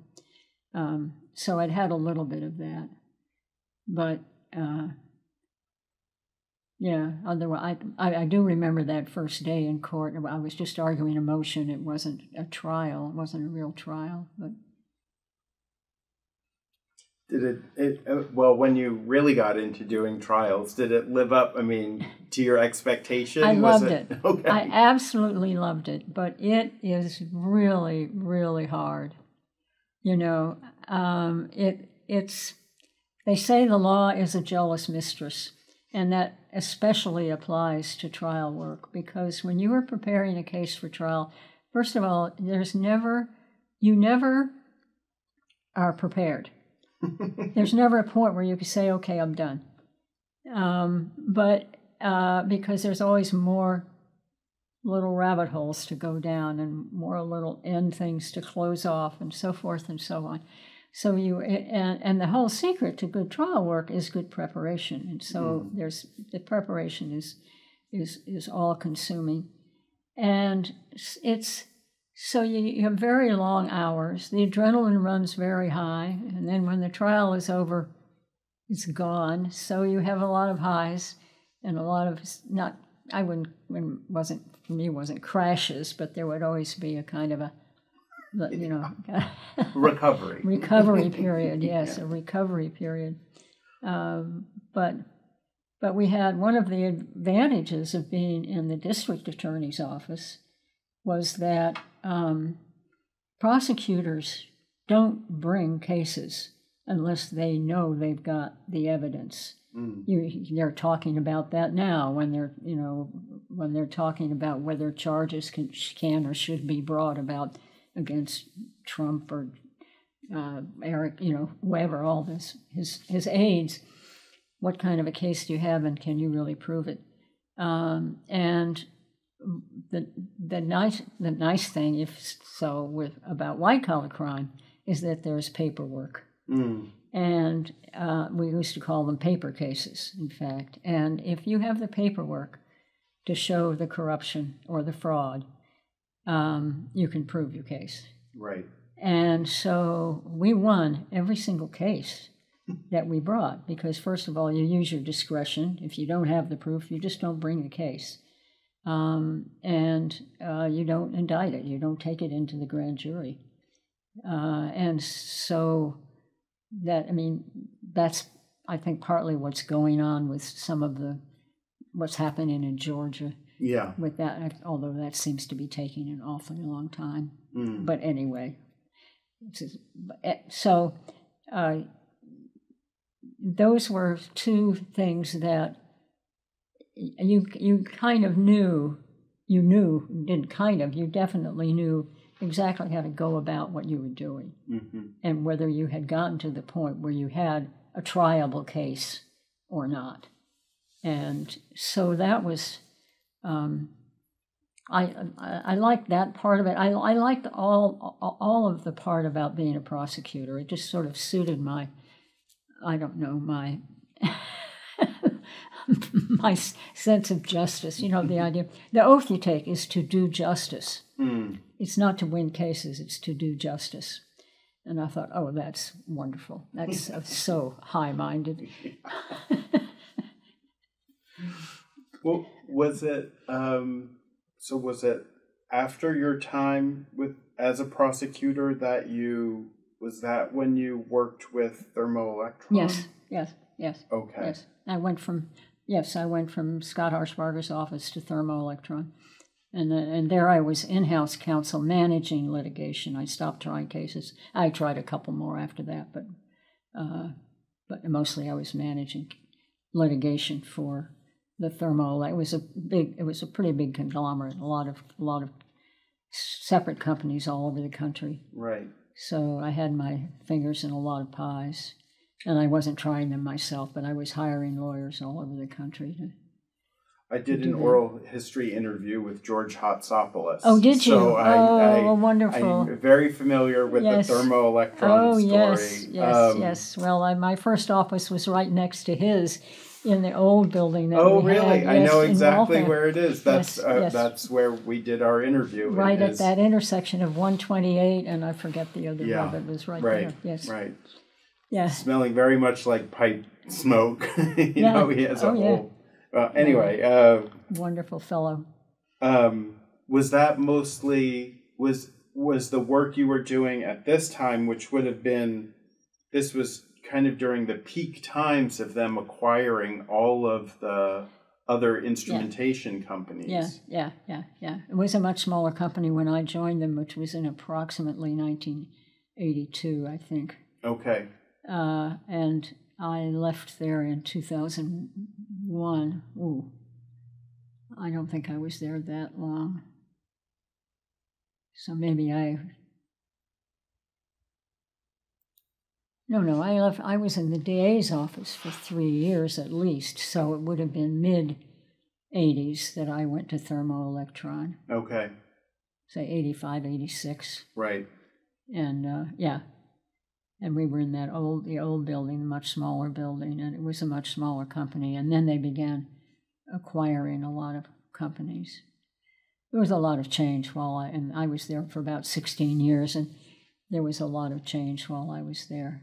Um, George and his brother John, who was his right hand man, Right. uh, running the company, both retired, and new management came in, and of course that changed things a lot. Right. Yeah. Was there a lot of um, defending patents or defending yourself? Not much. There were some. Um, there was some, and it was mostly. Uh, trying to think. We had one huge patent case. I remember going to George at one point. There there were so many millions of dollars at stake in this patent case, which we were defending, I think. And I finally went to George. I said, George, why don't we just buy this company? And that would put an end to this litigation. It's costing us a fortune. And that, that wasn't in the cards. But the company was Fisher Scientific. Oh. And they merged with Fisher Scientific a few years later. There. Yeah, but that was that's the patent case I remember. yeah.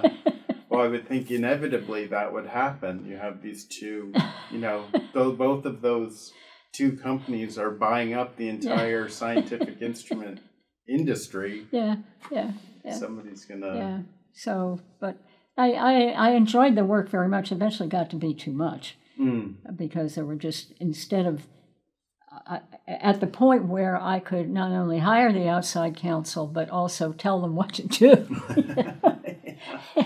and really have my hand in supervising and actually go to the arguments or, or, or uh, review the briefs before they were filed and, and participate in this, the strategy thinking and all that, which was what I, which was really what I brought to the table mm, um, in that job. Um, as long as it was a, I was able to do that, it was fine. But then we got to have so many cases that I just, I really couldn't be that actively involved in each case anymore. There were just too many cases. I just had to hire outside counsel and turn them over.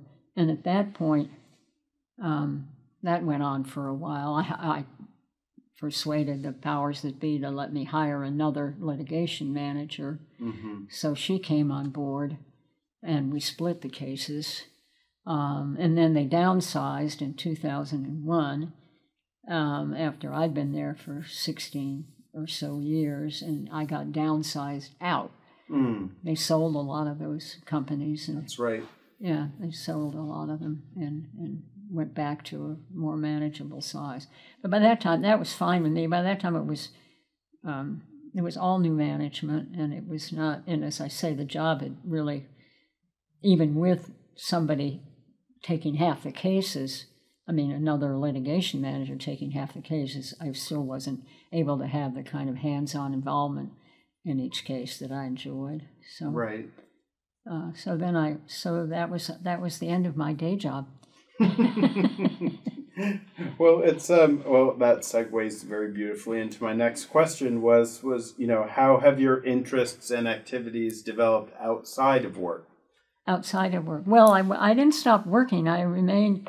Oh. I I stayed on. I did work for thermo a number of Thermo Electron companies. Still managed. There was a number of these companies for whom I'd been managing the litigation, so they didn't have in-house litigation management. Oh. So I kept doing that, and uh, I and I kept up a private practice doing that kind of thing for a number of years after I left Thermo Electron. That was all through from 2001 to 2010 or so, um, and I also became an arbitrator during that period. I had wanted to do that for a while, but I didn't have had I just didn't have the time. So I'll confess, I don't really know what an arbitrator is. well, it's a hired judge. Oh. um, for a private. It's a private judge. I mean, you. It's a. Um, yeah, it's I. I was an arbitrator for commercial disputes, which is mainly contract disputes among companies, um, as compared to say employ, employment disputes or Right. other kinds of disputes. And I did commercial, uh, lit, commercial litigation, commercial disputes, and I was an arbitrator for the American Arbitration Association. And so you are matched with cases. People file application. People file an application to arbitrate. Sometimes it's required by contra- their contract Right. if they submit matters to arbitration instead of going to court Okay. because it's cheaper and it's supposed to be faster. Usually was in the cases I had, um, a lot faster. And uh, so I did that. You don't do a lot of cases per year, uh, but I did mostly high tech cases of various sorts because of my background. Mm-hmm. And uh, I did that. You can do two or three cases a year, so it left you a lot of time to do other things. And I did that right up until five years ago, something like Okay. that, six years ago. Time is flying. Seven years ago. I know. Discount the pandemic I because who Yeah, knows how you- long you this has lose- been. I lost two years Yeah. there. You forget those two years. I can't. I I cannot know. do that arithmetic. I know. I know. Um, but to go back to the that work that you were doing, so you stayed um, providing uh, legal doing legal work for some of the companies that had been part of Thermo Yeah, and then were spun back out. that's right. Yeah, Okay. exactly. So again, Yeah. high tech sort of stuff.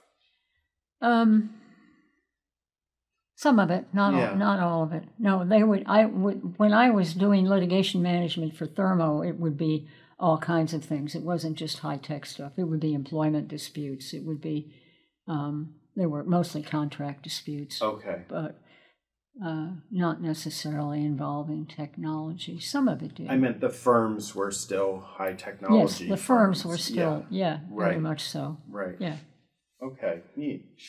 Um, well, did you? I guess e- even um, well, I guess the question still kind of stands for the time that you you know did have time to do anything outside of work. You know, how were your what were ex, your extracurricular interests like? Well, I continued to travel a lot um, over the years. I had, um, in approximately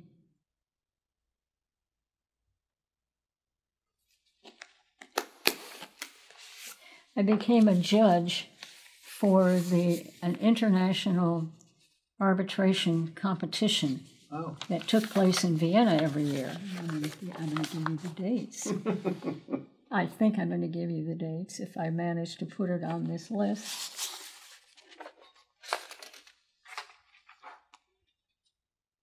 Oh, I didn't put it on the list. Um, I did it for eight years, and I think I did it up to 2006. Yeah something like that.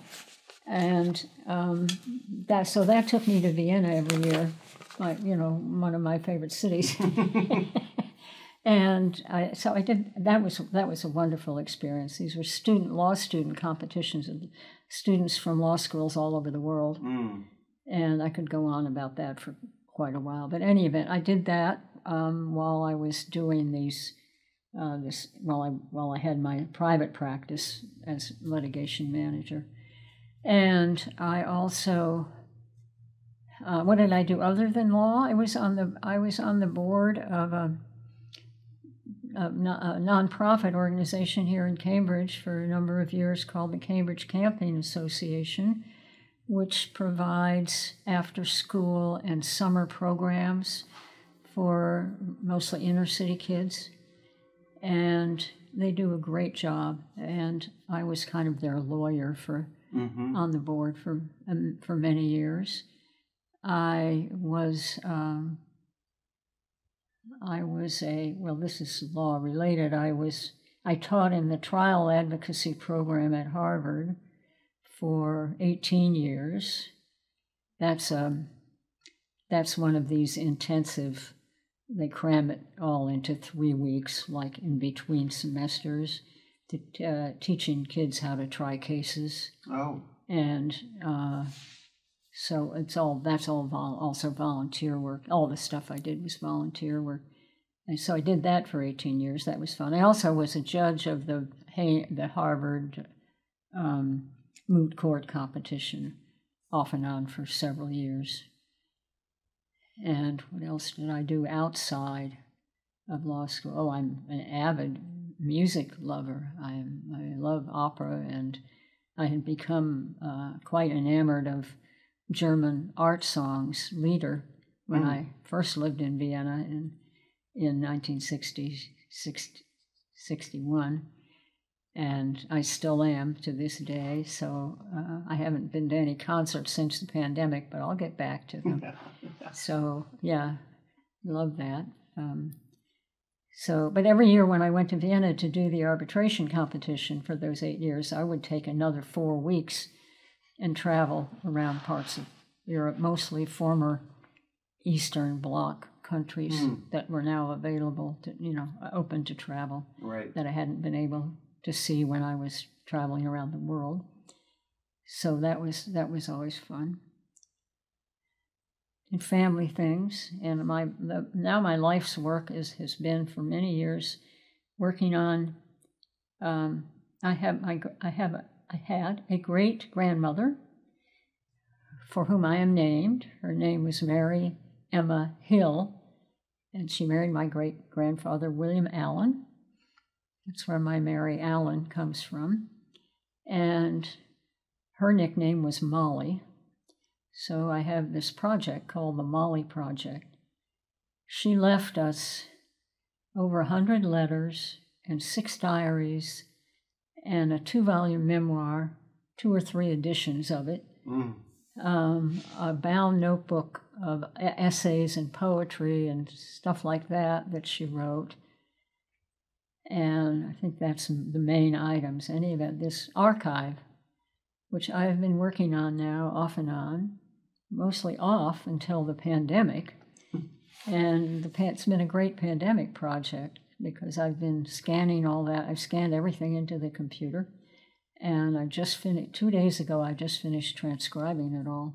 Oh my God. So, and I've, and I've, meanwhile, as I've gone along, I've been writing sections about her life. And so now my, now I have the fun part of, I'm not sure how, it, what direction it's going to go, but Mm. something about her life. Mm. Uh, she herself was a wonderful writer, so I'm, I, I don't want to step on her toes, but I want to Yeah. make it inviting. Whatever I write, I want to be inviting for people to go read what she wrote. Right. Oh, what a what, wow! What a wonderful collection. Yeah, I yeah. mean, It's a fabulous, it's a treasure. It's really a treasure, and it's so much fun to work on.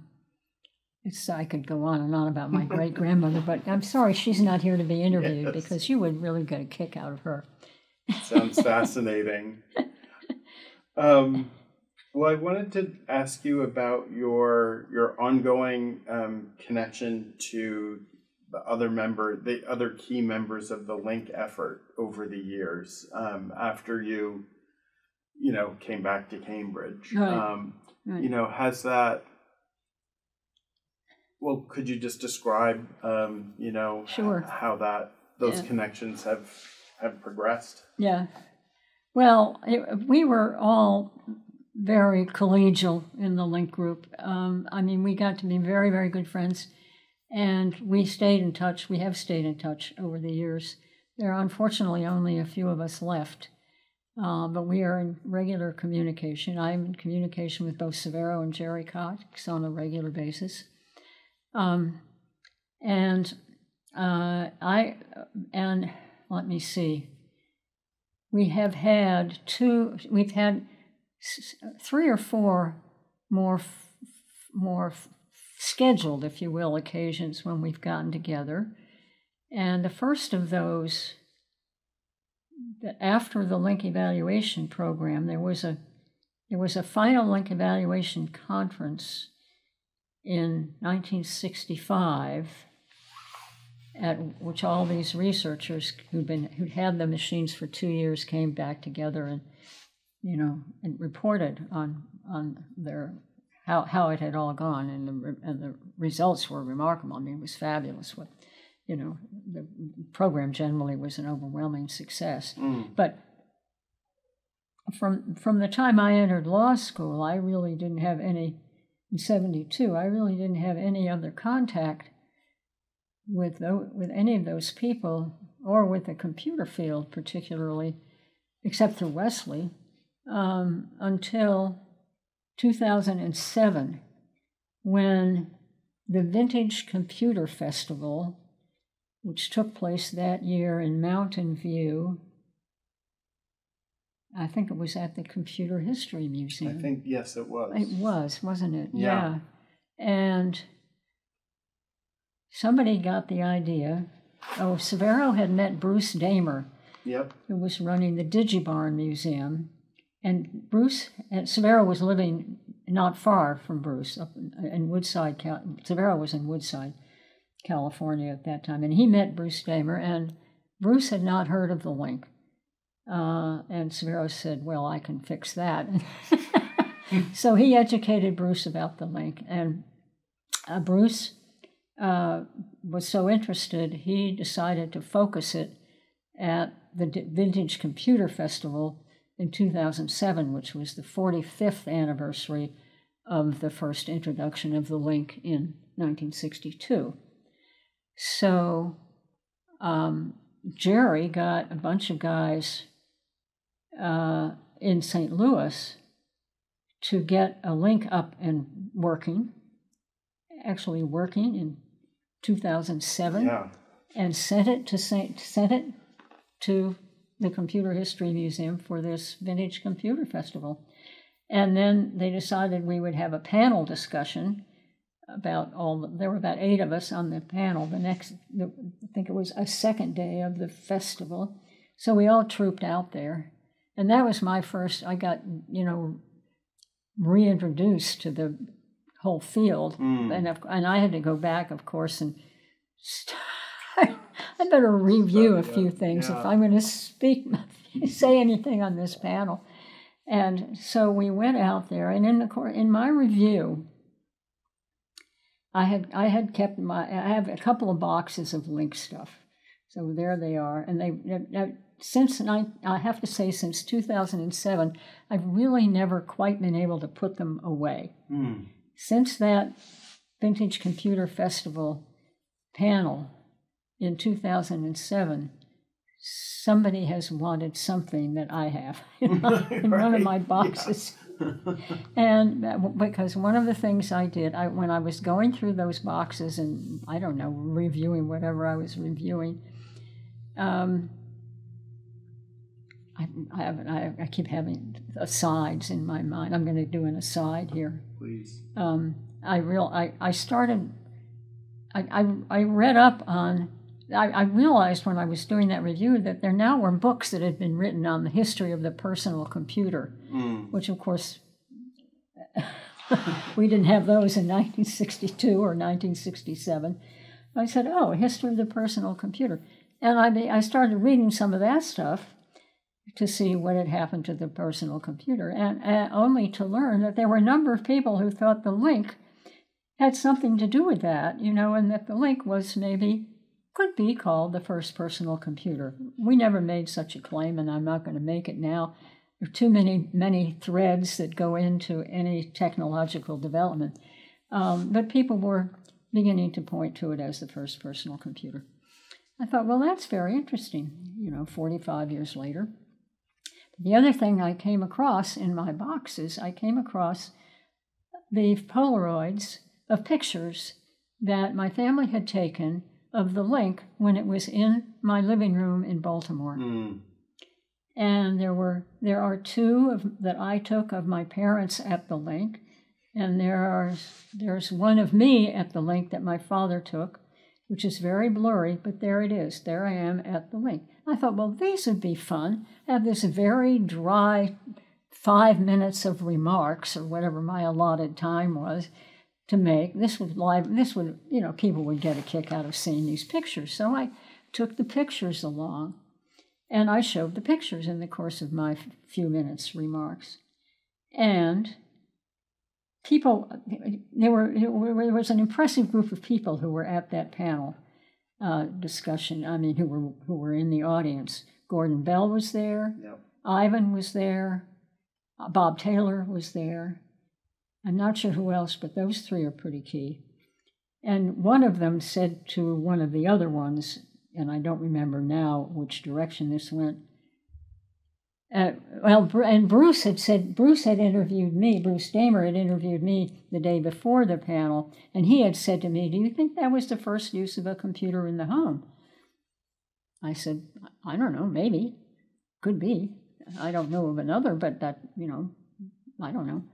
Anyway, so that has was already going around the idea that that might have been the first use of a computer in the home. And sure enough, after the panel, Bob said to Ivan, or Ivan said to Gordon Bell, or one of them said to the other, "Do you think?" One of them said to Bob Taylor, that was I, what I was told. Do you think that was the first use of a computer in the home? And Bob Taylor and Bob reportedly said, "Yeah, I think it must have been." And I remember one of them, somebody came up to the table and said, You know, that's the first use of a computer in the and somebody else in the audience, not one of those three, but somebody else, you know, some bystander said, You could send you could send it into Ripley's Believe It or Not. I said, I don't think so. Anyway, that was the end of that. But that you know it's amazing what catches the public's imagination Mm. and that caught the public's imagination that and the fact that um, the media was beginning to notice that there had been women in the computer field way back when Right. that happened in a, around the same time i mean 2000 2010 Mhm. right around him there and there began to be museum exhibitions on women in computing Right. there was a huge one at paderborn germany um, a few years later that i was involved in and so it was it was all this confluence of oh women in computing you know now by this time people are saying why are girls not going into Yeah. computing and Right. it's become a whole thing Right. uh, Right. So any event. So I began after that. I began giving speeches, and I've given a speech about my experience in the computer field to a couple of ACM conferences and some universities or women's col- mostly women's colleges, I think, in Swarthmore, um, about my experience in the computer field and and the early history of women in computing which I enjoyed learning about. So Yeah. I've, I've kind of made that sort of a, a byline, I mean, a, a by, whatever, a byproduct of something. Yeah. Yeah. Well, I, that is so interesting because I was just, I mean, I had a question here about like, um, about this appreciate the changing historical appreciation of the LINC, you know, and it just Yeah. seems like it's, you know, I, I, from my just from my point of view, it seems like steadily and steadily increasing. Yeah. Joe November's book really, you know, um, about biomedical computing Right. also really Yeah. helps to put a lot of this on, you know, a, a kind of a solid footing for certain audiences. You know, it's Yeah. it's really interesting to Yeah. see how it's just Yeah. progressively becoming great. Yes. The appreciation just increases and Yes. increases. Yes. Yeah. Yes. Yes. It has. That has to me too. And um, I have tried to use my. I mean, if I'm being asked to give a speech because I'm a woman, so be it. I'm going to go talk about the LINC, you know, and tell you why it was important. Yeah. Yeah. I just did a, a Zoom interview for my high school, friend school in Baltimore. It was only, you know, 20 minutes because we had to fit it all into one class period. And it was only 40 minutes and they wanted, they needed time for Q&A. Right. But I, I said, the first question you should ask me is, why is the LINC important? And my answer to that is because it revolutionized biomedical research and because it was a precursor to the first personal computer. Um, and, you know, how, you know, and then you can fill in the gaps with why each of those things came about. Right. Uh, but those are the two main, those are the two salient features of the LINC. Uh, and so it was, it was a remarkable thing to have been a part of. Mm. Yeah. I'm so um, just lucky. yeah. I've had a, I've been lucky in a lot of ways in my life, but that one was that one was special. Mm. That one was special. Well, Yeah. I, I did have a, a question for you about, um, I mean, maybe you just answered it, um, which was, you know, reflecting back, what do you see as the most important thing or things for people to understand about the LINC effort and its influence? And I think I just answered you that. just answered that. Um, Yeah. Do you think there's any big misunderstanding? Kind of the converse of that, something that you see people maybe saying about the LINC that you don't, you know, you don't think that's a great interpretation of what happened, or I don't think there's any great misunderstanding about it once you put it in context.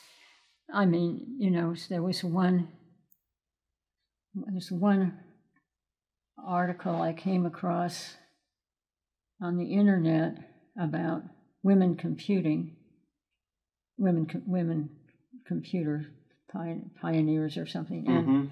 um, and one of the things they talked about was the LINC and me, and they And one of the commentators said, Well, you can't call that a personal computer. It's way too big. Well, of course. This is 19, this is 2022. I mean, yeah, there's that kind of thing, but I don't, I don't really count that as No. being major detractors. But One of my favorite detractor stories is from 1962, because everybody's mindset was so imbued with the idea that you had to have punch cards in order to communicate with a computer that at, at the NIH demonstration in 19 in April of 1962, one of the people who was there, um, fortunately, I think maybe he was the only one, came, you know, was watching this and watching demonstration and said, said that'll never work. And Wesley said to him, Why not? He said, Because there's no way to get the data in. Hmm. He didn't, he didn't think the keyboard was important. He didn't think the switches were important. He didn't think the cables from the, into the analog to digital conversion circuits were a way to get the data in. And his mind was so set on the on in a punched card Mm. environment that if you didn't have punch cards or at least a punched paper tape, how are you going to get the data in? So yes, there were there were a few people like that, but I'm afraid their their frame of reference is too narrow to worry about. Um, and again, j- just two kind of closing general questions. Um, you know, what has what what do you feel is most important to you about um, your involvement with computing? What do you think is the Hmm. major thing you've taken away from it?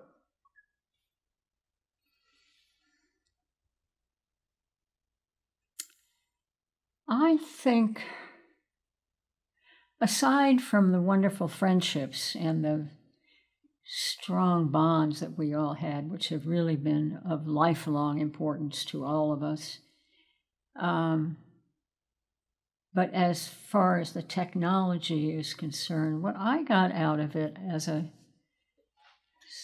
still a fairly young, impressionable mind uh, was the discipline of thought, the rigor of thought, the ability to recognize when my thinking was making sense and when it wasn't. and to just um, carry that's something you carry with you your whole life. Now, I started with that. To, a cer- I mean, I think it does, you, you have to have a certain aptitude for the kind of mental activity that's required in doing stuff with computers or math or engineering or, you know, hmm most any of the sciences. Uh, but you have to, you do have to learn that somewhere, and you have to learn your own limitations in that regard, which is, I think, was working on, you know, taking tackling some really tough problems. Uh, and and the same thing happened in law. I mean, you you can you can come up, you can hit a wall there too. You know, okay, let's try another direction here. But you have to be able to a pursue it and then know when to change directions, when to back off, when to recognize that you need to formulate things a different way or just do something different. Mm. Um, I think, I guess, just the short answer is intellectual development. How's that Perfect answer. um, well, this is, a, and our my final question is one that we ask um, everybody we do an interview with, and um, it's very interesting the the responses to it. We ask uh, people that if they could give one word of advice to someone just starting out in their career, uh, what would that one word be? One word of advice, and and why? Any career or a com- career in the computer field? any career or or you know, or computing, you know, whichever, but, you know, maybe in general. One word. One word. Um, enjoy. Hmm.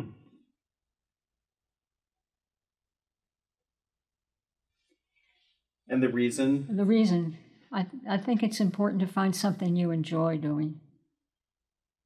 People talk about people. I, I, I think sometimes young people are being told you have to find your passion. I think that's intimidating. Um, I don't think you have to find your passion.